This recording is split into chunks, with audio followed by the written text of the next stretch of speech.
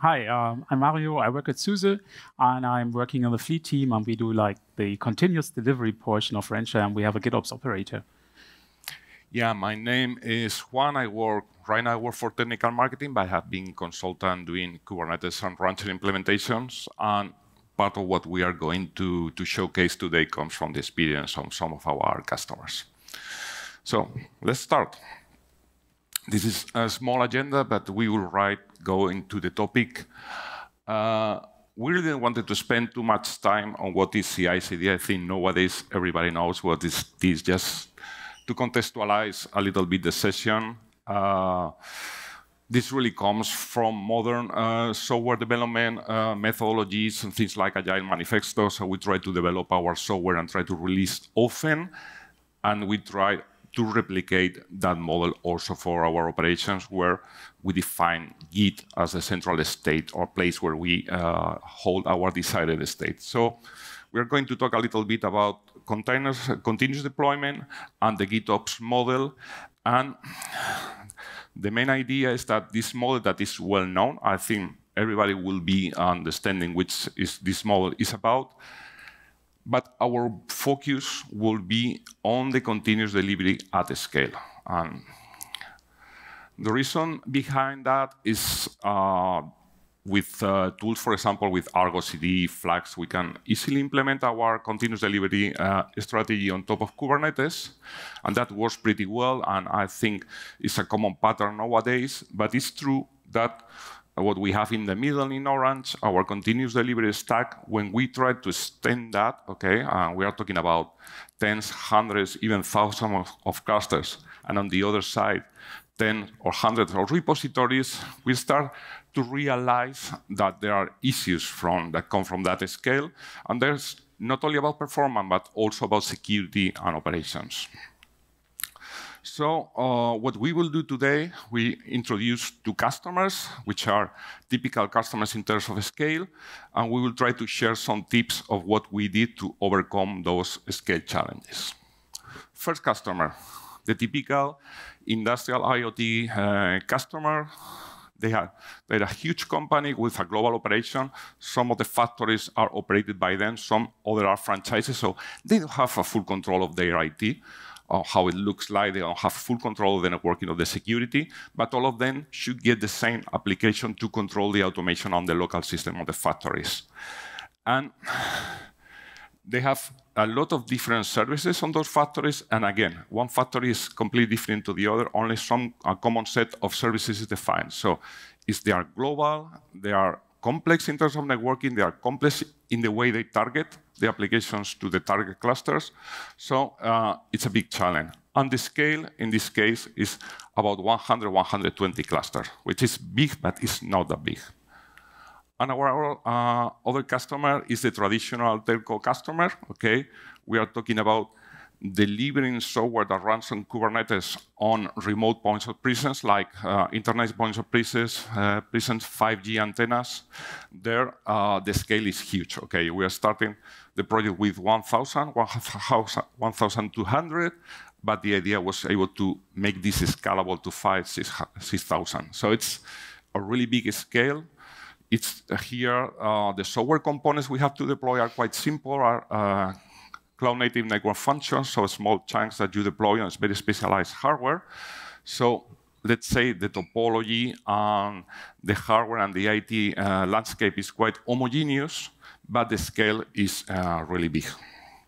And also, as in many of those places, all the resources are really constrained. So we should be careful with what we deploy, okay, because they are uh, designed to host their specific workload, so we should not add anything on top of that and makes performance a problem.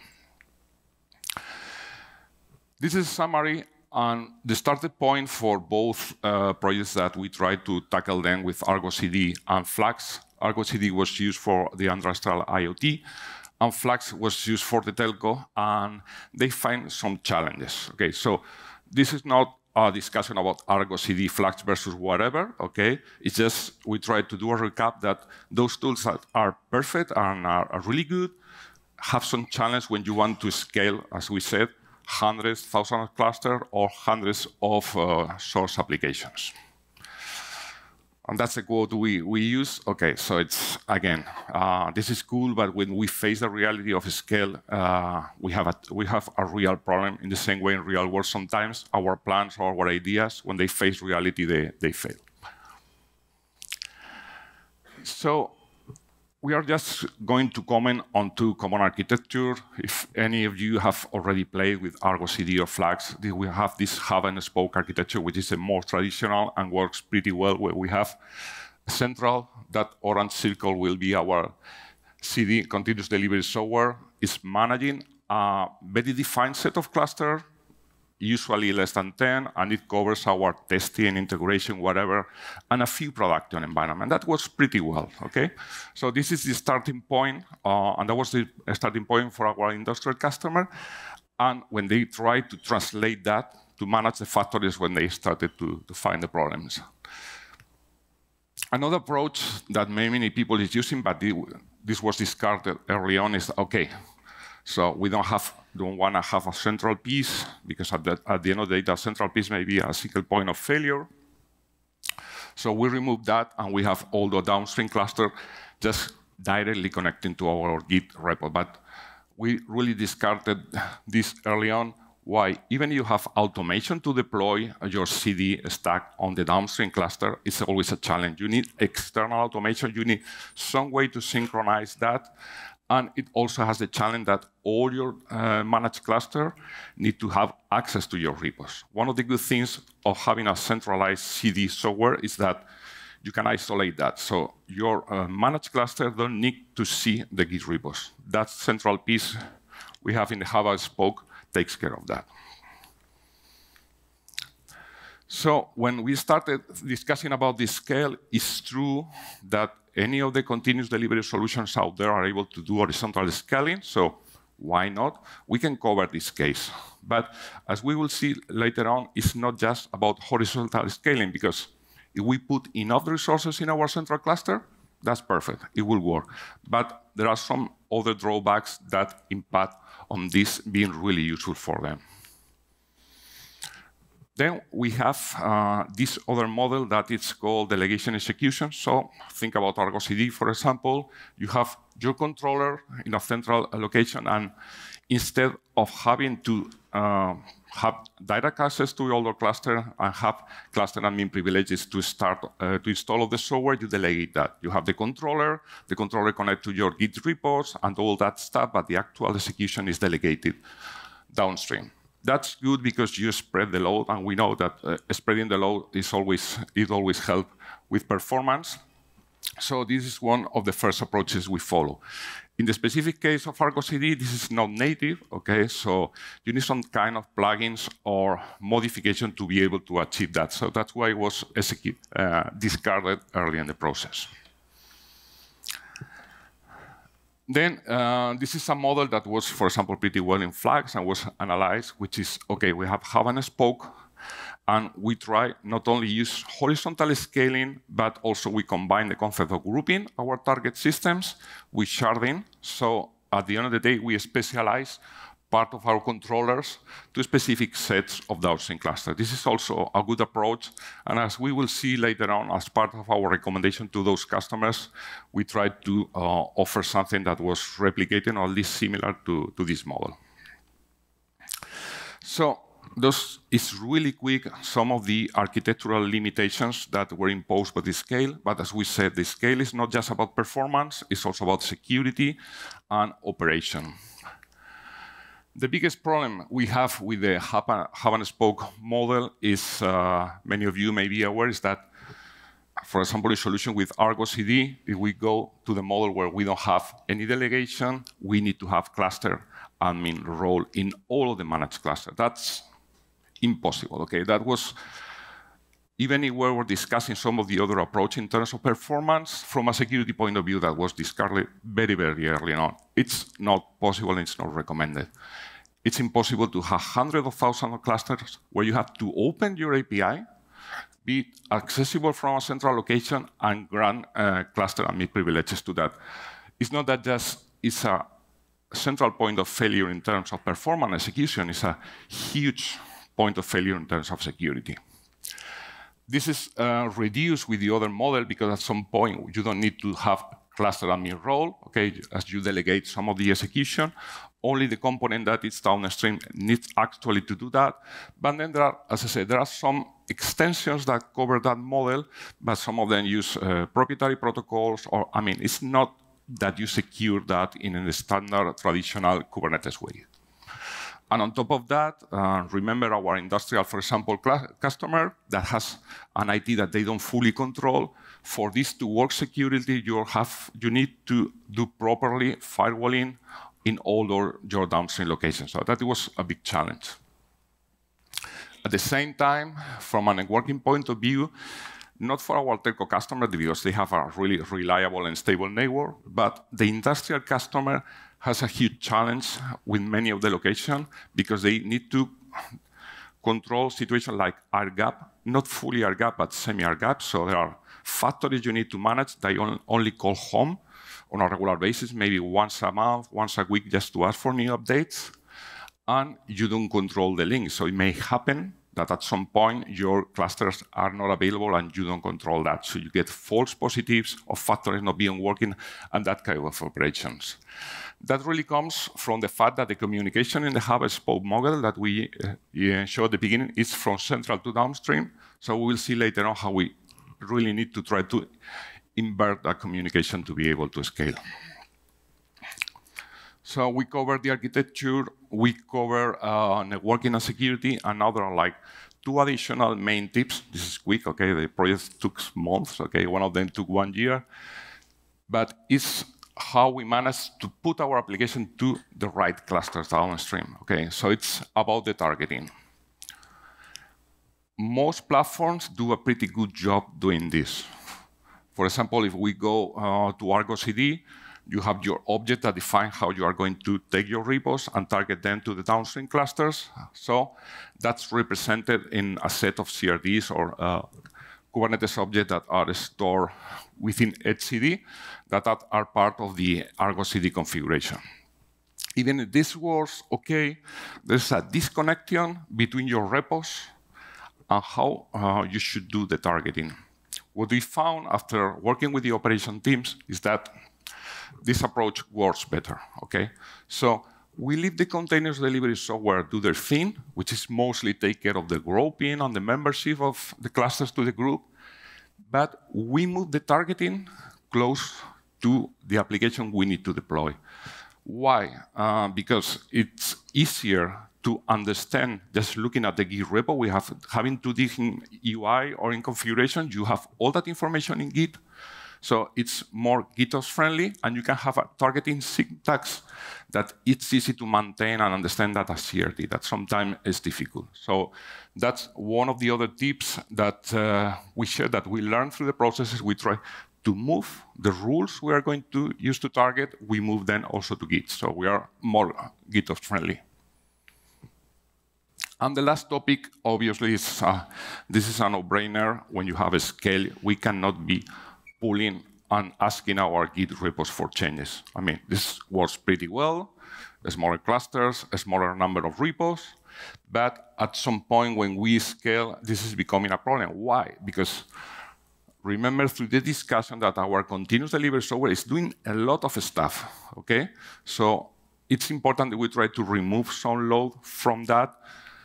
And obviously, for that, we strongly recommended our customer to implement a webhook system.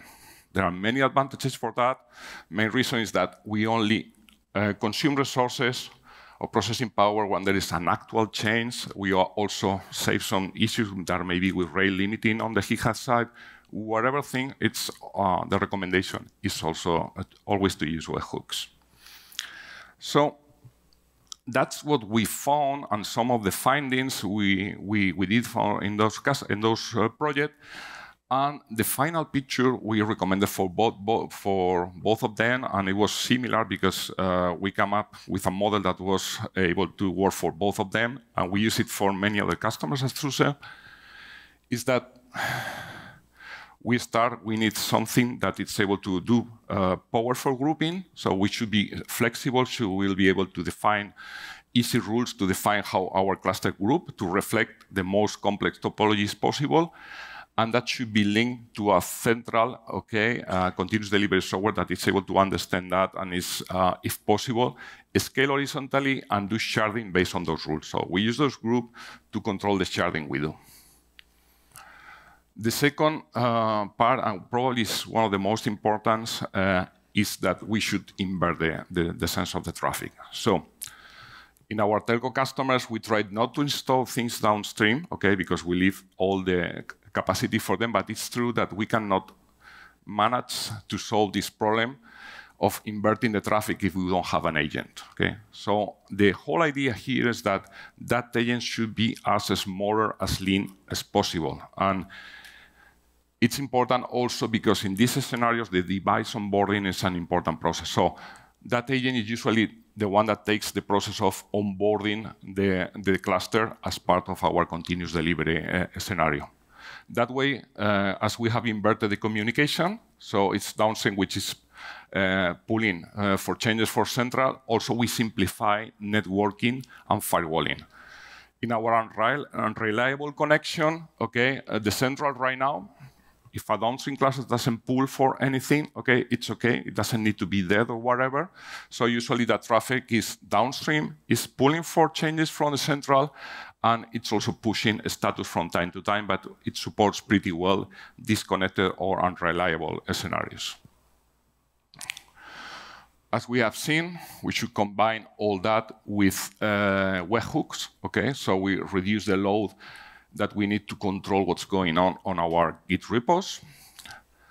And uh, last but not least, to be make this fully GitOps friendly, we should keep the targeting rules in our Git repo. So the central is taking care of all reconciliation, on all the state management, but uh, in terms of the downstream grouping is, is the only thing they, that, they did, okay? So the targeting, how we move one repo to one of the downstream clusters is kept on Git, so it's easy to understand.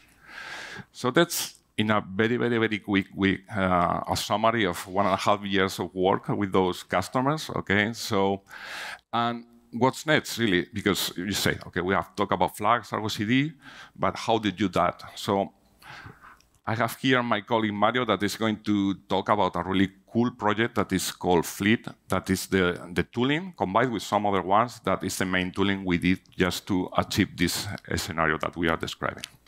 Over to you, Mario. Yeah, thanks. Uh, so this button is probably next. Right. So like 15 years ago, there was this uh, meme out there like that everything is now a computer. Like your mobile phone is a computer, your watch is a computer, even your banking card is a computer that runs arbitrary applications.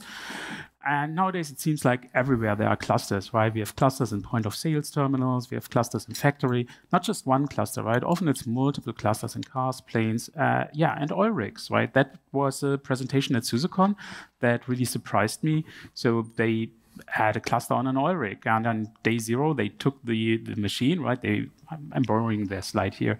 Um, uh, they took the machine, they flew it out to the oil rig, and on day uh, on the on the next day, right, they could just uh, updated over satellite links, and they didn't have to pay for the helicopter to take updates to the oil rig. So, um, really clusters everywhere. So, how do you, how do you manage all these clusters, right? And um, well, I I work on Rancher, so my answer, of course, would be Rancher because Rancher is like inherently multi-cluster. That is like the biggest thing.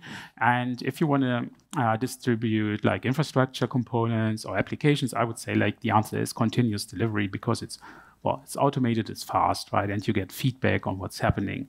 And um, yeah, GitOps is uh, taking it one step further, where you have like everything. Uh, I guess you know this, right? Like uh, in in a Git repository, and then you can, for example, customize it. For example, if you're deploying, monitoring, but you need different data retention policies. If you want to provision clusters, or you want to roll out your own applications. So um, yeah, GitOps principles, everything is declarative, right? It's versioned because it's in Git, and um, you can pull it automatically, right? You reconcile um, continuously what's happening there. So that is done by Fleet. That is our logo here at the bottom, uh, bottom in Rancher. And um, Fleet has been around since 2020. It's a, it's a set of uh, controllers, of operators running Kubernetes. And um, it's also used internally by Rancher Manager. So um, uh, I think you can deploy Fleet standalone, but that is not um, supported. Right? But I mean, it's an open source project. So um, we have uh, QA working on around 1,000 clusters. We know of installations with uh, 3,000 clusters. I think that was not out of the box. As a software engineer, I often think like, well, 3,000 clusters, right? You just add the objects, then you go away for a cup of coffee, you come back and it's done. But it turns out it's more like adding 500 clusters a week, right? And tuning some settings while doing it. Uh, we have smaller installations that are like um, customers have, right? We just do the software uh, that run like 250 clusters for cameras or something, and the two examples uh, one just gave. Um, so multi-cluster, I want to go a little bit into the architecture. Um, we have a control cluster that's running the operators, and that is the one reaching out to, with GitOps controller, reaching out to GitHub repositories. And it's um, that is the part where you want to like uh, optimize the network traffic, like the polling interval and such, right? And then we have like uh, cluster groups and different namespaces, so you can sort your clusters by adding labels to them and uh, target them with applications. So that is uh, how it looks in the UI, for example. Like uh, this is how you build cluster groups. Like um, yeah. Um, and we do support Helm, Kustomize. Uh, we support multiple repos, multiple branches. Um, you can switch to polling, right? Instead of uh, you can switch to webhooks instead of doing polling. Uh, we um, kind of support dependencies, and that is Helm chart dependencies, right? If you have a Helm chart in your Git repo, we will download the dependencies, but also like dependencies between applications that you deploy. We can uh, kind of wait for some to be ready before we deploy the next one. Um, we handle the RBAC, and um, we have like uh, the, the fleet approach is like a very simple approach where you just point it at a repository that has some manifests, but you can put a special file in there, which we call the fleet YAML, and that can have like uh, additional instructions on how to deploy this. So at the top here, like um, you see like the desired state, that is your Git repository, and the custom resource, the Git repo resource that describes it. And then we have like three components underneath it, which is the GitOps monitor that clones Git repos, and it creates like an intermediate format, which we call the bundle. Um, and we kind of need that to make it scale, right? So we, we have something in the cluster. And then we have cluster a multi-cluster manager that looks at the bundles and the targeting rules and decides like which bundle do I put to which cluster. And on the downstream here, we have like a very small agent. Um, I mean, image size doesn't really say anything about compute resources, right? But um, the, the agent basically just pulls um, these uh, targeted bundles from the control plane and then uh, uses Helm to install them. Right. That is uh, the nice thing is that we don't need any CRDs on the downstream clusters. So it's just like uh, one controller. Um, amongst the customizations that we can do is like we can change the namespace to deploy applications into. We have values, uh, Helm values that you can template. And uh, you can decide to keep some resources when removing. So, for example, if you're deploying like uh, a storage provider, you might want to keep the resources uh, in place, right? So that when somebody accidentally removes it, you don't lose your physical volumes. Um, yeah, we support customizing overlays, and we have drift detection, uh, and we also have like drift correction in the agent.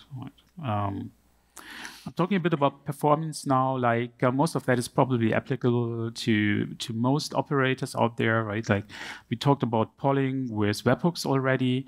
Um, so you can also configure the polling intervals. Like not everything needs to be checked every 15 seconds maybe. Kind of depends on your use case. Um, and you have to look out for controller restarts, right? Because if when controllers restart and you have like a, a thousand applications or something, they will resync those applications and basically process all these applications. And the same happens like periodically, like every 12 hours or so, you have to check if your uh, controller is still in sync with the clusters, with the with the Kubernetes API state, right? So uh, a few one, few other ones here, like that might sound obvious, but it's really easy to make your Git repository too big, right? Especially if you deploy something like a website. It's really easy to uh, like commit images or video files into the Git repo, and then the cloning obviously takes very long. So maybe putting assets in a different repository might improve performance. Of course, the less repos you have, um, the less outbound traffic you have to the whatever wherever your um, Git repositories live, right? You could, for example, with Fleet, you could use one Git repo resource and then have multiple paths and the same resource, so it's only cloned once. Um, another thing to look out for is etcd. etcd has kind of like a limit on a resource size.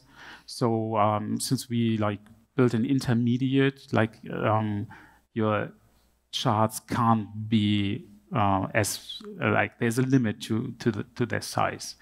Um, the same is true for etcd and the maximum number of resources you can have. So um, I went ahead and I counted. So every time you register a cluster, um, it needs around 14 resources to do it. Like there's a namespace for the for the cluster, right? So it's kind of like secure and away from other clusters. Um, there's uh, like a custom resource for the cluster. There's a bunch of RBAC for the cluster, like a service account token and stuff like that. And the same is true when you scale when you scale the amount of applications um, that you deploy. Like uh, this might take up to 13 resources again, like service accounts, RBAC rules, uh, a job to monitor the Git repo. So this can easily um, get very large. Uh, what we recently implemented is the horizontal scaling. Um, we took a very simple approach where we just like install Fleet with multiple controllers, you can assign them to certain nodes if you like to, and then you put just labels on the resources so the controllers know what to act on. So that is a very simple pattern. Um, yeah, our drift correction works offline. Um, so all the processing is done on the downstream cluster, which is kind of like a design decision, right? Sometimes it's uh, better to do things in the control cluster. Sometimes it's better to do things um, on the edge clusters, right? Think of, of the oil rig. I think there it's a very good approach, right? Because the satellite link is so small that you don't want to do drift correction over the satellite link. Um, another thing to look out for when you when looking at performance is probably metrics, right? We uh, report a lot of stuff into the status of resources, but we recently added um, uh, Prometheus metrics, so you can can take a look at some dashboards to see like if uh, uh, yeah if there's like a difference. Um, it's also good to to test what's happening. Um, so we we have like um, a CLI that has like three subcommands that kind of match the the phases I showed earlier. First one kind of creates the intermediate format from a folder, right? That uh, is then converted into a bundle. Then we have another command to target, which will like prepare this bundle for a cluster or for actually for a set of clusters. So you can see like what is hit, uh, what is like actually target in the live cluster environment that you have by uh, what would happen, right, if you if you um, deployed this. And then at last we have like a deploy command that has a dry run option, so you can check the actual output. Like it's a little bit like Helm templates uh, result. Right, I'm at the end of my slides. Um, we are going to do like scheduling next. That's on the roadmap. Um, so like if you want to deploy like only on the weekend or something, um, we are going to focus a bit more on the UX. Uh, we, we were very focused on the GitOps part um, and the last uh, time. uh, and um, we, are, we want to bring some of the features that are only there in the Kubernetes manifests back into, into the UI. And um, another idea that we have is to build something which we currently call OCI ops. And the idea is to put everything into an OCI registry so that you have the container image in one place together with the Kubernetes manifest that you want to deploy and also the configuration for the deployment and the customization rules, right? So everything would be in one place. You could sign it to make it secure. Um, but then the question, of course, is like, how do you get this to the downstream clusters? Are they all using the same registry? Should we take care of that, right? Should we sync these artifacts from one registry to the other, and so on. Like all of that is like very much up to debate. But um, yeah, I think for for some workflows where you don't have different teams, where you have one pipeline that produces one artifact, right, where it's like the same access permissions, like um, the, the same people have the Git repo and the, the image registry credentials, then they can also use this information to create just one artifact. Instead of having things in three places. Um, yeah, this was created without AI. And thank you, everyone.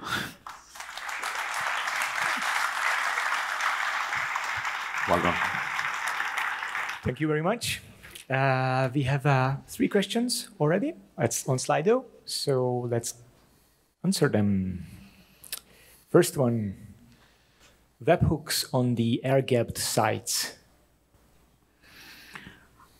Uh, yeah, because we have this intermediate format, right? The control plane is not air-gapped, so um, it will create these bundles, and um, our agents can connect back to the tunnel to to the control plane, and then fetch the bundle from there, like Okay. uh, once they are online, right? Okay.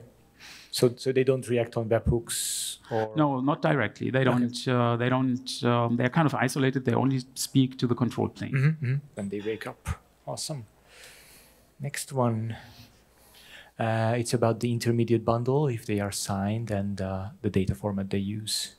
Right. Um, um, we basically we take the manifests directly, and then we we look if we have to compress them, and then we put them in a resource, which is why we have a size limit. Um, we are discussing signing. We want to do that, um, especially because we now have like an experimental feature to store these things outside of the cluster, right? Because like storing things in etcd, etcd is not a great data store, right? So we want to store them in an OCI registry outside of the cluster, but then like access becomes a problem. We can't rely on Kubernetes RBAC anymore. So we we uh, when we make this feature unexperimental, I think we want to have signing. Like, Okay. And the last question was about uh, OCI registries, but I think you answered it already. Like, uh, yeah, the bundle is going to be in the OCI registry. Yeah, that is, I think, the the experimental feature I talked about, if I understand it correctly. Yeah. All right. If there are no more questions, I thank you very much for this informative talk. And uh, yep, Thank you. Thank you.